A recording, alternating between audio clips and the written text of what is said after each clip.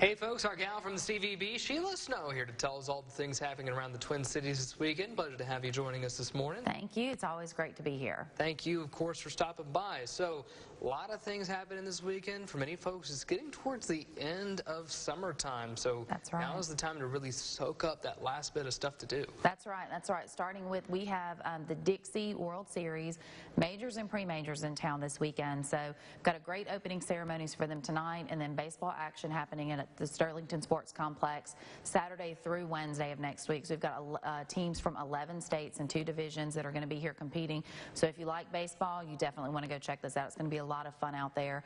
And then tonight, we've got a great concert happening in downtown West Monroe. Um, it is Ouachita Live in Alley Park, the new Alley Park. So, it's going to be a lot of fun. They've got Horace Trahan and the Ossun Express, um, which is kind of a Cajun band. There'll be some food trucks. So, food and drinks going to start at 5:30.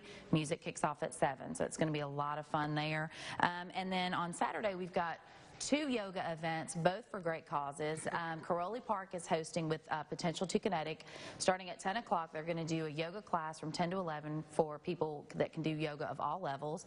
And then after that, um, they're partnering with Ouachita Green and Keep West Monroe Beautiful. They're going to go along Kiroli Road and kind of do a cleanup of that area. So there we go, balancing your chakras and getting some good karma too. There you go, there you go. So you can do that from 10 to 1, and then at 1.30, head over to Blue Sky Yoga because they're going to be doing, um, it's yoga and nutrition for good. So they're going to have three different things. They have a nutrition class with uh, Hope Anderson Fruge. They've got a yoga class for all levels, and then they're ending with a restorative yoga and sound bath.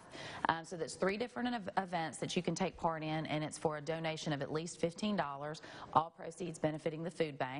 So you can get another yoga in that afternoon, Yeah. another yoga event, and Maybe worth bath. attending just to know what a sound bath Just is. to see the sound bath. So that should be should be very interesting, great, relaxing, and really does some good for the community supporting our local food bank. And then um, later on Saturday evening, we've got two fun events: uh, Beat the Heat Dance with Smackwater Band at Desir Plaza Center in Monroe. It's ten dollars a person. It's going to kick off at seven o'clock.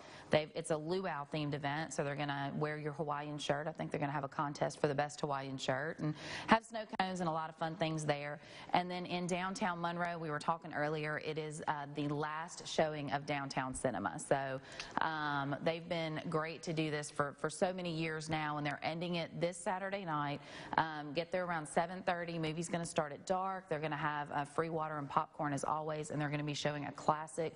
Great way to end it with Back to the Future. One of my absolute favorite movies, so I may have to go out there and check it out. Sheila, thank you so much for stopping by. We'll have all these events posted for you folks on myarklamiss.com.